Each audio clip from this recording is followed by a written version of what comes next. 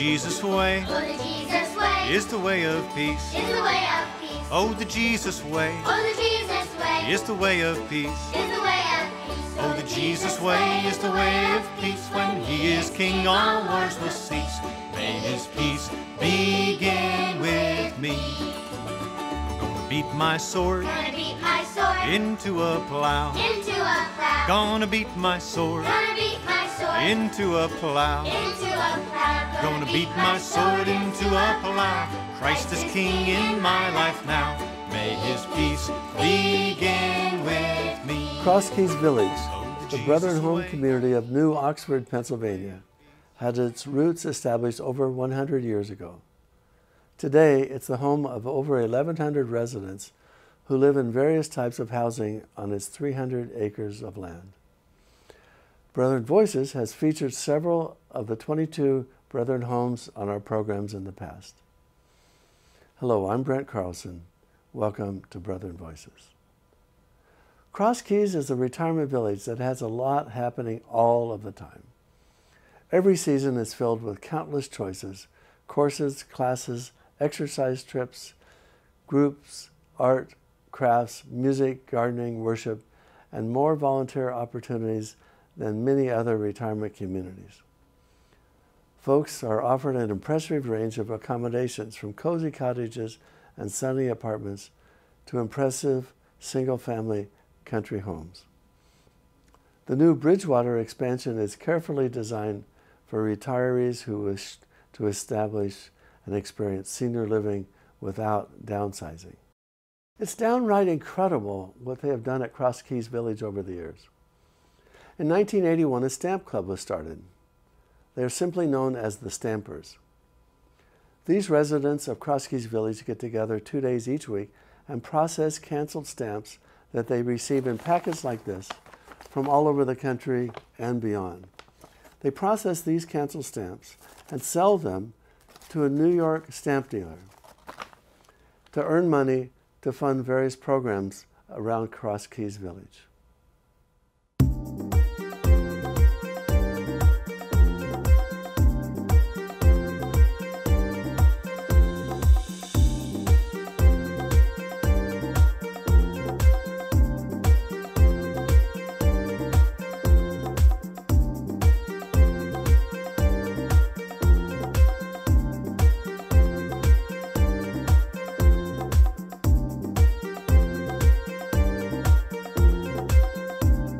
Welcome to the Volunteer Stamp Program. My name is Dwight Mon. I'm one of the many volunteers in the program. I'm a retired school teacher here from New Oxford. I live in the borough of New Oxford. I'm not a resident. And uh, so I retired 10 years ago from teaching, and uh, folks got me involved in the program. As far as the program itself, it began in 1981. It was designed for activity purposes for the residents to become involved in active manual dexterity uh, as well as brain function and being, being uh, active in those areas. Uh, what we do basically is we take all the stamps that we can possibly get. And we get them from all over the world, literally all over the world. Uh, they come in bags, as we have here in front of us. They come in boxes. Uh, they come in cards and letters, uh, anywhere from one stamp to thousands. And what we do is we process the stamps and pack them, and then we resell them to um, stamp dealers in New, New York, actually a subsidiary of Mystic Stamp Company. It's called Ben Art and uh, we ship probably four or five times a year. And each pack that we use is looks like this. That's all the larger it is. That contains a hundred stamps of the same exact same design. And it has a Scott number, which is how we identify it.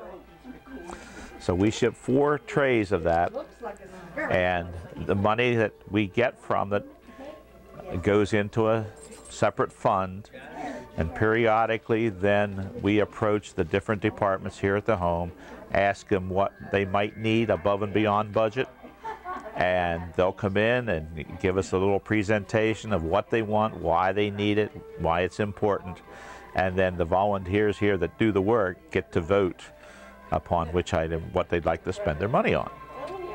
So over the years, since 1981, we've uh, bought approximately $100,000 worth of equipment, anywhere from uh, wheelchairs to defibrillators, uh, washing machine, dryer, you name it. We, we've bought almost everything possible.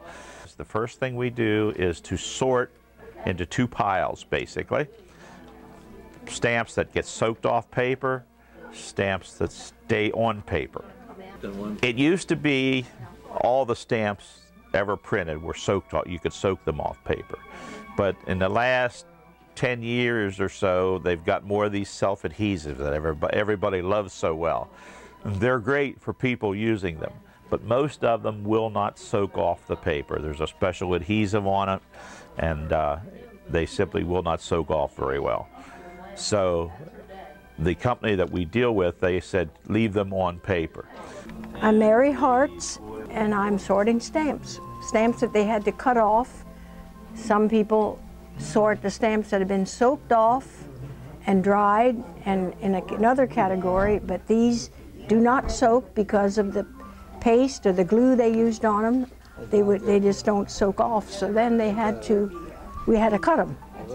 And they have to be cut perfectly without damaging the perforation around them. If they damage that or it's torn in any way, we cannot use it. I heard of the stamp program when we moved here 12 and a half years ago, and I didn't join right away, but I guess I've been doing it for eight or eight or nine years anyway. I used to soak, and then they wanted me to learn the different things there because they needed people to sort, so I learned that. And right now I'm I'm sorting things like here's all the same kind of uh, flags, all four different kind, and now I'm sorting flowers. Then they're put in the boxes over there, and then uh, the different ladies package them, 100 to a pack, get them ready to send out. You might have four stamps that are they look exactly alike, and yet they're different. And we have different people that are we've trained to do different things. Like one of the things are the perforations, the little zigzag things around the stamp. Uh, the, the, one you're probably you're most familiar with now is this, the uh, spring, summer, fall, winter stamp. The flag stamps that are out right now, they've been out for now for about two years. They come in coils and booklets. Now, a coil, straight edge top and bottom, and the perforations are just down the sides. But there are three different perforations. There's a real tiny perf, there's a middle-sized perf, and there's a big perf. They have to be sorted by perforations.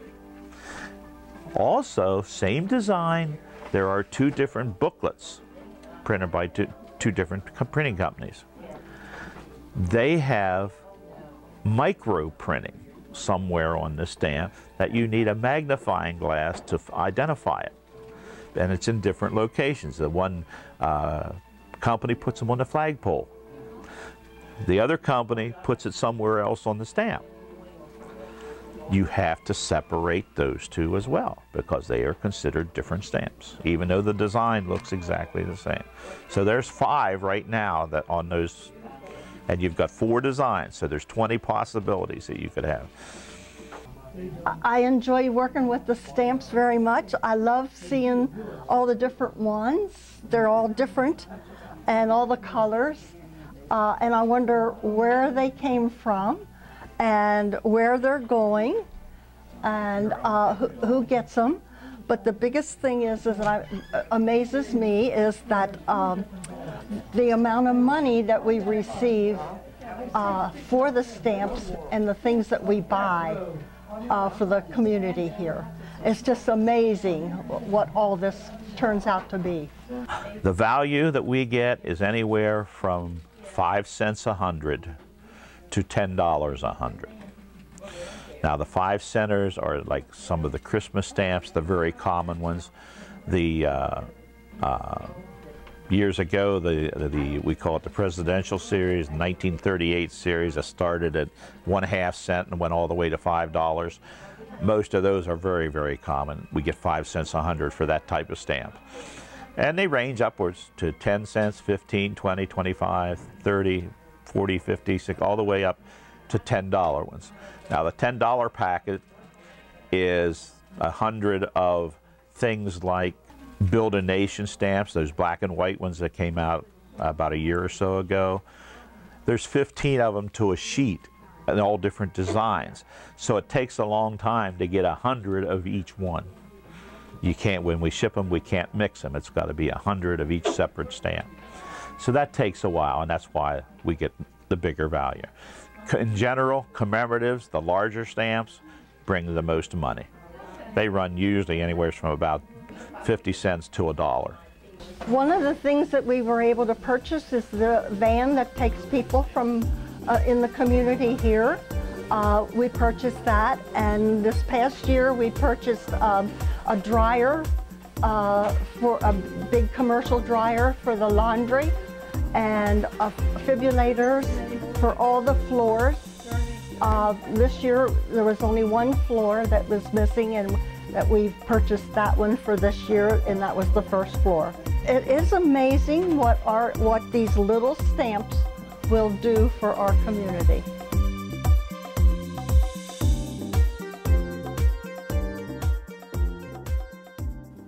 For Cross Keys Village, volunteers are so important for the ministry.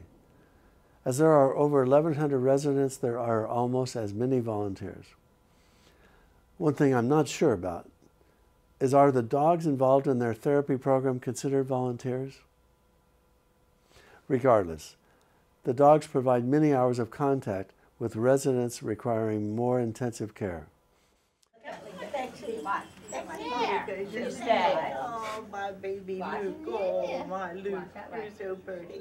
My name is Pam Miller, and I'm a retired teacher. Uh, and when I retired from teaching, I needed something to uh, fill my time, and my second love from children was uh, dogs. And I had a wonderful uh, lab that um, was born with just a very loving personality, and always knew she'd make a wonderful therapy dog. So we um, I became we became a certified therapy team through KPETS, the KPETS organization based in Lancaster. And since then, we've visited um, nursing homes, and I spent a lot of time in schools and colleges. We love um, visiting, especially the residents in the Brethren home here. Um, they're just, they're always so happy to see her and just full of love. And she, she really, you can really tell she picks out her favorites that she remembers. And she, when she sees them, she's very eager to, to see them and, and say hi to them and get their love and their hugs. And um, even though they don't remember her name and it's almost like the first time she's coming um, and visiting them, she remembers them and they still love her as much um, as she loves them. So it's very rewarding. You know, I always tell people, it's almost like when you're little and you have a stuffed animal and you're having a bad day. You know, you always hug that stuffed animal uh, you, as a child, would cuddle up with your animal. Well, a dog is the same thing, and a therapy dog just has a big heart, and uh, any dog, any animal could become a, a therapy animal. Um, it's just that instinct they have um, to let you love them and cuddle them and hug them and um, they, it just makes you feel good inside. And walking around here today, it was just fun watching her see the Santa Clauses and the trees, and she gets all excited just like a child would. She went to check everything out because it was new to her, and, and um, so they're, they're a lot like children. Bogey uh, started to come to work at five months old. He just turned five in September, and I had asked the administrator here, Julie Hall, if um, I could bring Bogey in as a pet therapy. So Bogey and I went through all the classes and all the certifications to be able to come to work. And he has now come to work Monday through Friday, um, every day for the last four and a half years. So he has become a a staple here in personal care. Actually, Bogey gets depressed if he doesn't get to come to work. He has 87 of his closest friends right here who spoil him every day and have treats for him and spend time with him. He goes to residents' doors to go in and he'll knock on the door and push the door open and come in to visit. Um, he loves if you have a sofa or a snack. And he actually picks favorite people here, which is amazing. I just watch him do it. He gets very close to people and tends to want to go back and visit them more often. Luke is one of three dogs that I have that do pet therapy. Luke was my first therapy dog. Um, I actually knew I wanted to do pet therapy before I got Luke as a puppy. And so I talked to his breeder and said, I really want a dog with a temperament that would be good to do this kind of work. And um, so we waited and didn't get him until he was four months old so that they could really get a good idea of his temperament. And um, so we brought him home, and he's been an old soul, and he never was a rambunctious pup. He was the perfect dog for pet therapy. Just about any breed of dog can be a good therapy dog, but temperament is really the important thing. They have to be very calm in all situations. We came in for our interview here to start doing pet therapy, and the fire alarm went off. And Luke just sat there. And the girl that was interviewing us said, That's amazing. Why didn't he jump? Why didn't that scare him? And I said, That's part of what we train them for. But they must start with an, good temperament, and then from there, basic obedience skills and um, just socializing them everywhere we possibly can. We take them to places like Tractor Supply, we take them to Home Depot and Lowe's, places where uh, shopping carts are being pushed around. That sort of simulates a person walking with a walker. Um, doors are opening automatically, sounds are very different from what they encounter at home. So we expose them as early as we can to a variety of different stimuluses, and from there, um, they become very comfortable with those kinds of things and they learn to trust us. What happens sometimes is the dog will show a little fear of something new or an, an unusual, but we teach them when that happens to look at us and we say, That's okay, and give them a treat. And they learn that they can trust us to take care of them no matter what's happening around them. Luke knows. You have pretty eyes. He does. He does, doesn't he? Oh, it just gets to you, yes. Yeah. And you're all dressed up? Yeah. They always dress up to see Miss Alice. Yes.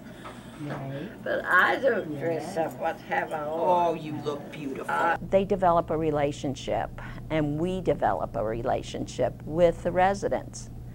Um, we've had residents who inevitably we've lost, and who we've gone to, to their um, funerals.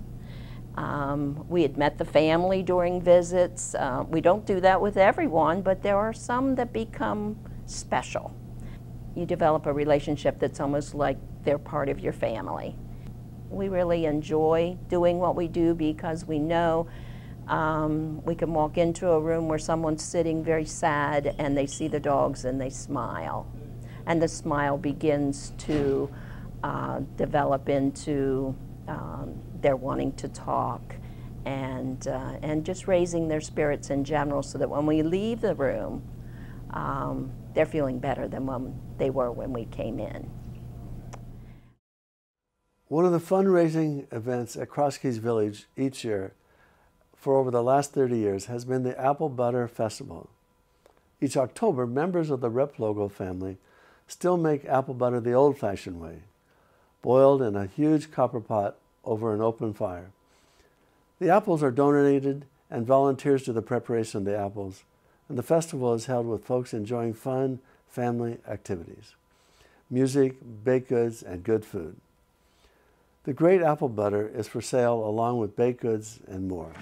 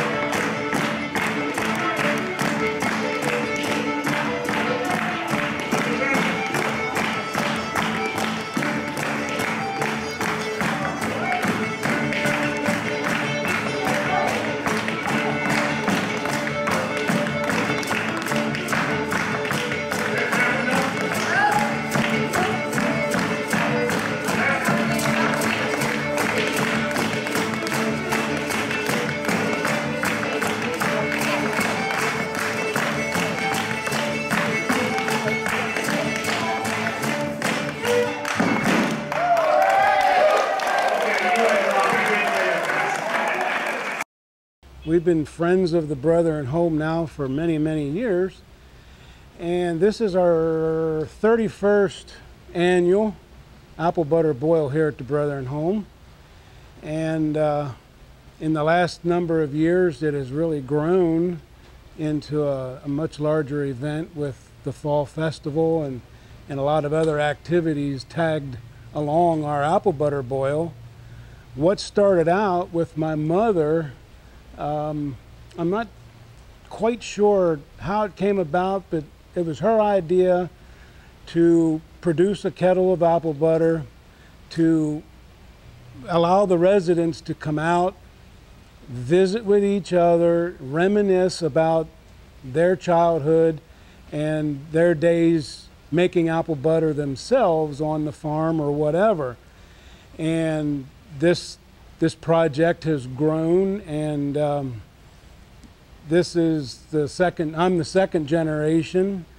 Uh, my daughter is very much involved and uh, we're just having a you know a great time doing this once a year. Uh, the recipe that we use is um, it, it, it was a family that's a family heirloom. It came with the original kettle that we have. Um, which I understand was a wedding gift to my grandparents whenever they were married. Have no idea how old the kettle was before that, but it was used. And um, what we do, you start with the kettle clear full of, of apple cider, and the sweeter the better. And then you boil that um, halfway. So you reduce the cider to halfway on the kettle, and that's the signal to start adding apples. Now, our original kettle was an 18 gallon, and that takes two and a half bushels of apples, um, peeled, cored, and sliced fine. And we always use a cooking apple so that they they cook up. The original recipe called for winter banana, which is a very hard apple to get anymore, but Golden Delicious um, is a real good sweet cooking apple. And so whenever you get the cider down halfway, then you start adding the apples, and um, that's when you start to stir. Before that, you don't have to do anything but just watch it boil. And um, and then once you start adding apples, then you have to continually stir till it's finished. Uh, on a good day, it usually takes around eight hours from start to finish. There's a, an official um, test to, uh, to test that, and that's to put a blob on a, on a plate, and you, you strike a line through it, and you look for weep, uh, liquid weeping into that, that line you've drawn. If you don't get any weep, and then you're able to turn the plate upside down and it not drip off, that's whenever you have the right consistency. Now it's time to add sugar, and that is to taste. So it depends on how sweet your cider is, how sweet your apples are, um, how much sugar you have to add, and that's to taste. Some like it, you know, really sweet, and some not. So, generally, after you put a put your your um, your sugar in, then it's usually an hour after that. You've got to boil that liquid that you've just created. You've got to boil that off, and whenever you get it back to the right consistency, then you add the oils. And we add sassafras, cinnamon, and clove. And we use a, it's a little uh, spice oil, and we add the drops of that, get a good mix on it, and then it's ready to jar. It was always done before with a funnel and a scoop, and um, always had a lot of trouble um, judging how much to pour in the funnel and not overfill the jar. And I had been thinking about this for a number of years, and last year um, I finally got a plan in my head as to what I wanted. I talked to a sheet metal man, and I have we have manufactured a jarring system that uh, really works great. And it has a large volume on top that I can keep scooping into, and it has a, a slide valve at the bottom, and somebody can bring the jars in. You pull the slide open, and it's very precise. Slide the jar aside, somebody's putting caps on, and it just speeded that process up wonderfully. And uh, that's been a great addition to our, our, uh, our manufacturing process. The Brethren have done such a great job providing retirement living opportunities around the country. Often heard, we should have come here years ago. Well, now you have seen a few of the things that make living at Cross Keys Village something special. This is Brent Carlson for Brethren Voices, wishing you peace.